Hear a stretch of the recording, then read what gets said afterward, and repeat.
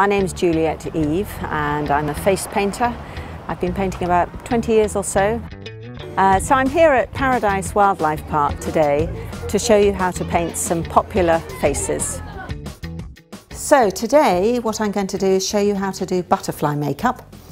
Um, I've got Millie here to help me this morning and uh, what I tend to do is blend several colours on the sponge at one time which I think makes it much quicker. So I'll blend some colours on first of all uh, and then outline with a, a stronger contrasting colour. Just gently close your eyes, pinch the sponge and go into the corner and then because you've got all the colours there at once you can just roll the sponge up so all the colours come out at once. Same on this side. Put the green in the corner of the eye, yellow and out into orange. And she's got lovely brown eyes, so these colours always look good, I think. Right, close your eyes gently, good. A tap there, just a few colours. So this just gets the basic shape of the butterfly, which is one of the most popular faces probably. Okay, keep your eyes open, look up to the ceiling slightly, and then we'll do the little bit just underneath there. And again, look up to the ceiling, that's always with the corner of the sponge. There we are, that's fairly well balanced. Don't worry if it's not perfect.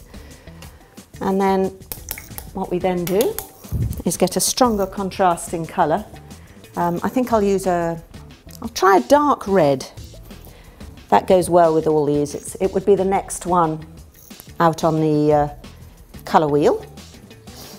And now I try and, when you're doing a butterfly, is to try and make the lines radiate out from the face. That's the important thing, because that is what's attractive to the human. They like, that's one of the reasons things like Spider-Man faces are so attractive, is because the lines radiate out. Um, and we want the thicker lines towards the outside. And dragging, pulling, a light touch, and then a thin one and a thicker one, and so on. So varying the strokes.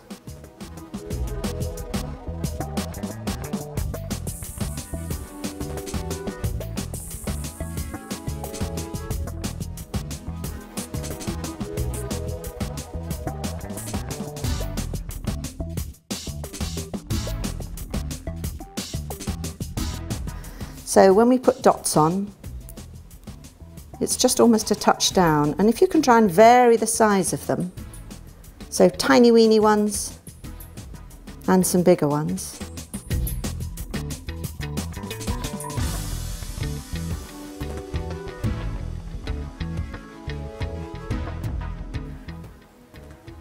I think we're just missing something here. So I'm going to get a bit of dark green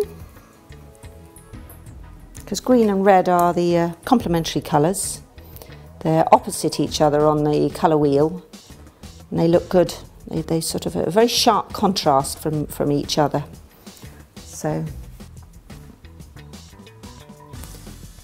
I'll put a few like this. These are little teardrop shapes. It's just a matter of laying your brush. This is called Glitzer.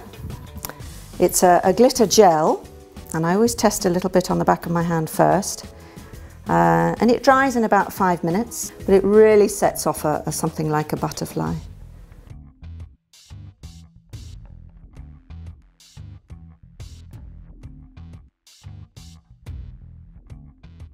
And there we are, that's uh, the butterfly makeup.